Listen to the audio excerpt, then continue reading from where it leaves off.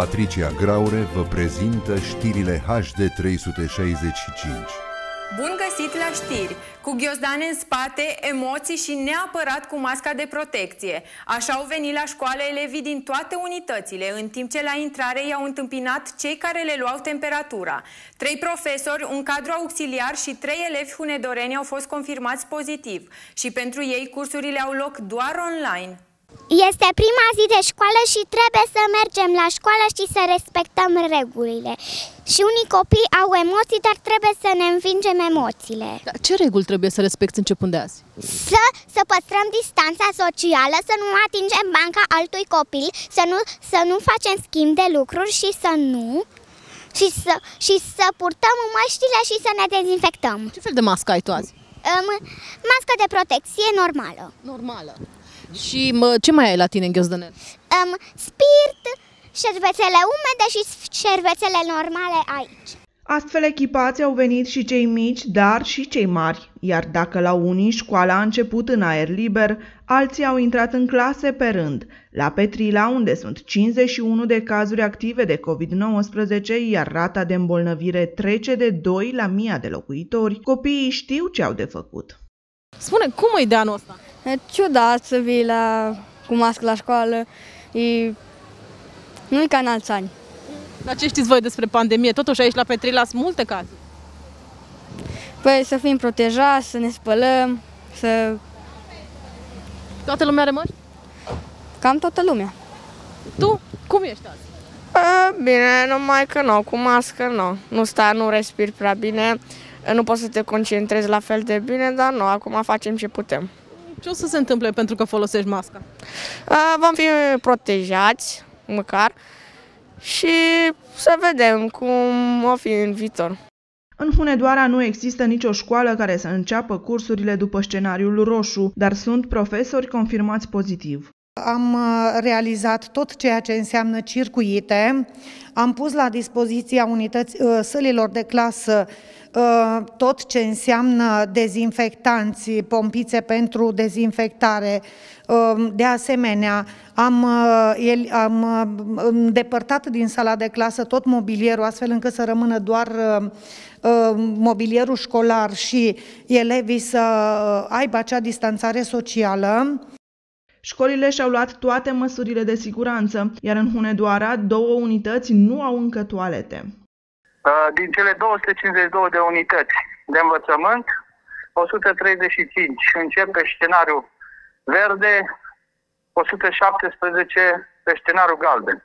Avem bucuria că în județul Hunedoara nu există școli pe scenariu roșu care să transmită lecțiile numai online. Există un singur cadru didactic care este pozitiv și este acasă. Da, mai avem un caz uh, uh, la Hunedoara și un caz la Călan. Dar uh, uh, aceste cazuri, uh, uh, cum să zic, uh, sunt în evidența DSP-ului și nu influențează procesul de învățământ. Pentru că școala Avem un, cad, un cadru didactic auxiliar și trei elevi. În școlile în care spațiul nu este suficient, lecțiile se predau după scenariul galben, cu o jumătate din efectiv la școală și cealaltă online. Inspectorul general a susținut că în proporție de 90% școlile au activate platformele online și fiecare elev și profesor au conturile activate deja. De 9 zile, termocentrala Mintia a fost oprită și greva energeticienilor ar putea să fie declarată ilegală. Reprezentanții administrației ceh au acționat în instanță sindicatul Solidaritatea și magistrații se vor pronunța marți 15 septembrie. De 9 zile, termocentrala de la Mintia a fost oprită pe zero, de 8 zile oamenii protestează în fața instituției, iar de 6, 4 oameni sunt în greva foamei. Liderul de la Mintia, Cristian Iștoc, spune că protestul se radicalizează din această săptămână și că oamenii cer să li se dea atenția de care au nevoie. Protestul continuă, se radicalizează. Cum se simt greviștii? Tot mai rău, unii dintre ei deja sunt pe medicație, ori pastile de tensiune, ori Uh, glucoză pentru glicemie. Uh, noi încercăm, le-am cerut azi și colegilor care au venit la schimb 1 să încerce să-i determine să iasă din forma asta de protest. Am atras atenția, au stat șase zile, nu are rost să-și pună sănătatea în pericol pentru că cei din guvern încă nu știu că termocentrala Mintea e oprită. Energeticienii au fost acționați în instanță de conducere a complexului energetic Hunedoara pentru că au declanșat greva. Am fost acționat în judecată de către conducerea complexului energetic Hunedoara. Faptul că am stat lângă oameni, probabil în fața porții și le-am susținut doleanțele, uh, le-au dat idei uh, celor care conduc cehul. Energeticienii de la Mintia au declanșat protestul nemulțumiți că nimeni nu le asigură stocul de cărbune pe perioada cât s-a lucrat la calea ferată, dar și pentru că oamenii au restanțe salariale neachitate pentru că nu și-au luat bonusurile conform contractului colectiv de muncă. În plus, nimeni de la Mintia nu mai crede că termocentrala va mai funcționa, motiv pentru care oamenii au cerut să plece, dar cu plăți compensatorii. O școală din Lupeni, dar și căile de acces ce duc spre edificiul de învățământ vor fi modernizate. Investiția este susținută din fonduri europene, iar primarul Lucian Resmeriță a anunțat săptămâna trecută semnarea contractului de finanțare. O școală din Lupeni, ca și căile de acces ce duc spre edificiul de învățământ, vor fi modernizate. Investiția este susținută din fonduri europene, iar primarul municipiului Lupeni, Lucian Rezmerița, a anunțat săptămâna aceasta semnarea contractului de finanțare. Proiectul care poartă denumirea Reabilitarea și echiparea școlii gimnaziale numărul 1 din Lupeni și reabilitarea căilor de acces la școală în zona dintre străzile bisericii și pădurarilor are o valoare de 17 milioane 100 156.645 de lei. Este într-adevăr o investiție de suflet. Eu aici mi-am început activitatea mea de profesor. În 2005 aici am avut jumătate de normă de profesor de fizică și m-am simțit foarte bine în colectivul de profesori pe care l-am avut la vremea respectivă și sunt fericit, sunt bucuros că am reușit să atragem o sumă foarte mare de bani în ceea ce înseamnă investiții în școala gimnazială numărul 1 din municipiul Lupen și într-adevăr toate accesele și uh, tot ceea ce înseamnă drumurile lăturalnice din zona acestui, uh, acestei școli. Am făcut în așa fel încât uh, proiectul am împărțit, cum să zice, în două. Avem vechea clădire care va fi reabilitată, va fi modernizată, va fi aranjată, totul va fi modern, ceea ce înseamnă anii 2020 și pe lângă faptul că reușim să, să aducem tehnologia anilor noștri în școală și ca și copiii noștri să se poată bucura de această frumoasă tehnologie și de ceea ce o să avem în proiect, vom avea a doua etapă care reprezintă un corp nou, adică vom avea o sală de sport, vom avea un teren de fotbal care va fi așa închis în sticlă, să zicem, o să fie o chestie de modernism foarte uh, frumoasă la această instituție școlară și mă bucur că a fost acceptată, mă bucur că avem banii pentru ea și în uh, anul viitor cu siguranță vor începe lucrările, fiindcă mai avem câteva etape de făcut până în momentul în care efectiv se va lucra. Uh, este îmbucurător faptul că reușim să atragem uh, fonduri europene, reușim să atragem fonduri guvernamentale pentru a putea avea un uh, oraș dezvoltat, frumos și așa cum și doresc oamenii. Potrivit proiectului vor fi finanțate următoarele lucrări. Modernizarea clădirii școlii, iar ulterior echiparea ei cu mobilier și echipament didactic modern. Totodată se realizează o sală de sport modernă cu vestiare și facilități sanitare. Se construiește un teren de sport nou, ultramodern. Se vor efectua amenajări exterioare moderne cu zone verzi estetice, iar iluminatul va deveni unul modern. Tot în cadrul acestui proiect va fi reabilitată zona dintre străzile bisericii și pădurarilor. Aici va fi amenajată alea pietonală, se va amenaja un trotuar pe strada pădurarilor și o extindere a acestei străzi. Lucian Resmeriță a declarat că este un proiect complex, ambițios, care va fi realizat la cele mai înalte standarde pentru un învățământ de calitate. Proiectul de reconversie al peisajului industrial de la Petrila a luat din nou un premiu, de această dată al societății civile, la concursul Cities of Tomorrow, iar arhitecții deja expertizează tehnic clădirile fostei preparații de la mină. Între timp, la mină vin turiștii să vadă ce a însemnat mineritul la Petrila. Experți care luptă mereu să țină în picioare peisajul industrial cu scopul de a-l reconverti pentru zilele noastre sunt la Petrila, fac verificări și iau probe, așa încât să poată spune care dintre planurile de viitor se pretează în spațiile rămase nedemolate. Preparația veche se află acum în procesul de expertizare, de fapt prima fază dintre uh, cele cinci faze ale, ale desfășurării acestui proiect. Uh, fiind un proiect care se desfășoară pe durata trei luni de zile, suntem în faza întâi care va avea predare la, la finalul acestei luni și se lucrează pe releveu, adică măsurători asupra clădirii, se lucrează pe studiu geotehnic uh, și pe expertiza tehnică a acestei clădiri. Probele luate din fiecare colț al clădirilor rămase le va arăta celor ce vor scrie proiecte acolo câte dintre planurile de viitor pot fi suportate de structura existentă. De exemplu, o funcțiune, cum vedeam acolo, de bibliotecă ar presupune o încărcare mult prea mare pentru astfel de clădire în stadiul în care se află în momentul de față. Așadar, evaluăm scenarii din punct de vedere spațial, din punct de vedere tehnic, din punct de vedere economic, prima fază a acestui proiect. Și pentru că oamenii sunt și acum interesați să vadă ce a însemnat aici mineritul, grupuri de turiști sosesc săptămânal la Petrila. Cătălin Cenușă este cel ce face turul în exterior. Au fost vizitatori, deși am, uh, nu puteam să-i programăm, ei vin câte doi, câte trei, câte cinci, în grupuri foarte mici. Uh, noi am fost pregătiți în, din toate punctele de vedere. Traseul practic este pe exterior. Pleacă foarte, foarte încântați față de ceea ce văd. În munți acolo se distrează, dar aici ceea ce văd este mina școală pe care o întreținem, că nu mai avem școală de calificare. Este o galerie pe care ei n-au văzut-o niciodată. Sunt acolo toate o parte dintre ustensilele cu care se lucrau în subteran, lopată, perforatoare, picamere, vagoneții și chiar profilul unei galerii pe care ei chiar nu știu dacă o să mai vadă vreodată. Reconversia peisajului industrial de la Mina Petrila a fost unul mereu apreciat la nivel național și chiar internațional. Acum la Petrila vine un nou premiu. A reușit să, să câștige uh, premiul societății civile, uh, așadar a reușit să se distingă de fapt față de celelalte 62 de proiecte înscrise uh, ca fiind unul pozitiv. Mai multe clădiri din incinta minei Petrila așteaptă încă să fie preluate de Consiliul Județean Hunedoara, după ce Societatea de Închideri de Mine din Valea Jiului va finaliza procesul birocratic care trenează de ani de zile. Bărbați puternici răniți în teatrele de operații din Afganistan reușesc să-și regăsească echilibru la propriu prin sport. Tirul cu arcul le permite să tragă chiar dintr-un scaun cu rotile la țintă. Astfel de oameni care nu au renunțat nicio clipă la viață în ciuda problemelor de sănătate sunt adevărați eroi. Am stat de vorbă cu ei la Aninoasa, la campionatul național de tir cu arcul.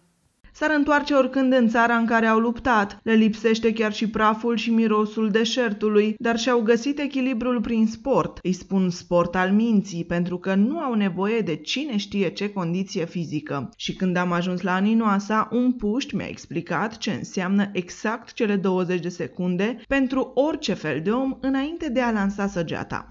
Fac uh, de trei ani tir cu arcul și este un sport foarte plăcut și nu și nu sunt probleme, avem foarte multe deplasări cu lotul, sunt în lotul național, sunt în primii patru și e bine. Da, spune ai spus că în uh, 20 de secunde, explică-mi povestea. Da, normal, pentru o săgeată sunt 20 de secunde, dar dacă tu vrei, poți să tragi și mai repede, să stai și mai mult pe săgeată, dar indicat este 20 de secunde. Ce faci în alea 20 de secunde? În alea 20 de secunde tu trebuie să stabilizezi arcul, să stai drept, să nu pierzi tensiune și să tragi. Și doamna antrenor tot timpul ne spune că suntem pe linia de tragere, avem de tras șase săgeți și după vedem ce am tras. Și dacă la copii pare o joacă de Robin Hood pentru adevărații luptători cu arme de foc care i-au schilodit în Afganistan, tirul cu arcul este un fel de vindecare. Uh, rănit în teatru de operații în 2016 în Afganistan. Am avut o ruptură de coloană și am fost spitalizat în Germania șase luni de zile. Am revenit cu bucurie acasă, cât de cât, să spunem, pe picioarele mele. Și acum particip la tirul cu arcul, o competiție, să spunem, ca la șah. E o competiție a minții, mai mult și a mușchilor, care e o relaxare pentru noi. Ieșim din uh, anonimatul, care rutina care o avem zi de zi sunt sportivi invictus, dar nu uită niciodată cum au ajuns aici. Le este dor de Afganistan și spre surprinderea noastră ei recunosc că s-ar întoarce acolo. Eram într-o patrulă, făceam o, să-i spun așa, o recunoaștere a unei rute și la întoarcere am luat un uh, IED, un uh, IED, cum spun uh, acum băieți, un DEI și am sărit în aer, aproximativ 6 metri, s-a dat emrapul peste cap, am fost șofer, am fost trei uh, surprinși eu, șeful de mașină și top cover Marcel Neagu, care o să vină și dumnealui. Și vă dați seama acolo, momente critice, dar pe această cale, iar mulțumesc sanitarului care l-am avut în acel pluton, nu-i mai țin mintele, dar nu mai țin minte numele, dar a fost la prompt, la obiect, imediat, a venit și elicopterele, ne-au făcut evacuarea foarte bine, deci n-am, n-am avut ce comenta. Problema a fost pe urmă. Pe urmă începe psihicul, încep uh, problemele acasă, eu credeam că nu mai merg, am fost paralizat trei luni de zile. Afganistanul îmi lipsește, sincer să vă spun, mirosul ăla de Afganistan, când uh, aterizai acolo cu elicopterul și... Dar gata, s-a terminat, acum încercăm pe altă cale Chiar am fost invitați să promovăm armata României în centrele militare zonale și să le spunem cum este misiune. Un alt sportiv care impresionează cu ținuta lui și faptul că este foarte tânăr ne-a spus la Aninoasa povestea lui din Afganistan. Sunt uh, militar rănit în Afganistan, fac recuperare prin sport. M-am dus către acest sport uh, pentru că nu pot să alerg, am avut un accident în Afganistan și nu pot să alerg, am probleme la gambe. Suntem 52 uh, în lotul lărgit al uh, echipei Invictus. Eu am fost uh, într-un incident cu o mașină capcană unde mi-am pierdut un camarad. Numele lui este Claudiu Constantin Vulpoiul și am fost cinci răniți. În schimb, toți ne-am recuperat după accident, mai puțin colegul nostru care i-a rămas o fetiță acasă mică. Îți lipsește Afganistan? Uh, da. Sincer, dacă aș putea să mai merg, dacă aș fi apt, m-aș întoarce.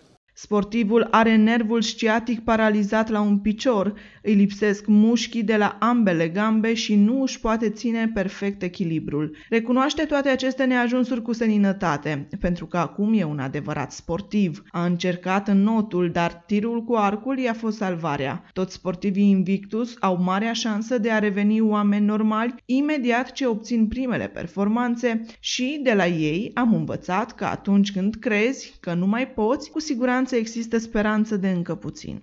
Urmează un calup de știri electorale. Fost comisar european și actual europarlamentar Corina Crețu a fost la finele săptămânii trecute în județul Hunedoara și în Valea Jiului. Aceasta a asigurat locuitorii județului și candidații pro-România că în dânsa vor găsi întotdeauna un partener de nădejde în implementarea proiectelor cu fonduri nerambursabile. Un demnitar familiarizat cu problemele din Valea Jiului și județul Hunedoara, europarlamentarul Corina Crețu, a revenit în rândul hunedorenilor săptămâna trecută pentru a susține candidații pentru fotoliile de primari, consilieri locali și, bineînțeles, candidatul pentru președinția Consiliului Județean Hunedoara și consilierii județeni în cursa electorală. În calitate de comisar european, împreună cu experții noștri de la Comisia Europeană, pentru că m-am zbătut uh, ca Valea Jului să facă parte din proiectele pilot privind uh, uh, regiunile carbonifere în tranziție. Și datorită acestui proiect pilot, Valea Jului a primit deja ajutor împreună cu specialiștii de aici și cu Guvernul României, Comisia Europeană a făcut atunci o strategie care trebuie urmată în legătură cu dezvoltarea regiunii. Iar acum, odată cu trecerea către uh, un sistem verde, avem acest fond pentru uh, tranziție justă, se cheamă, pentru ca nicio regiune să, fie lăsă, să nu fie lăsată în urmă. Deci Valea Jiului va trebui să acceseze în perioada următoare aproape 2 miliarde de euro din acești bani, de fapt 1,74 miliarde de euro. Și tocmai de aceea cred că alegerile locale sunt foarte importante. În periplul de vineri, Corina Crețu a fost alături de cei peste 100 de candidați din județul Hunedoara. Demnitarul a apreciat încă o dată că județul nostru este unul cu foarte multe oportunități, însă ce nu au putut fi exploatate de-a lungul timpului din cauza intereselor politice mult prea mari. Știrile se opresc aici. Eu vă mulțumesc pentru atenție. Să aveți o săptămână cât mai frumoasă.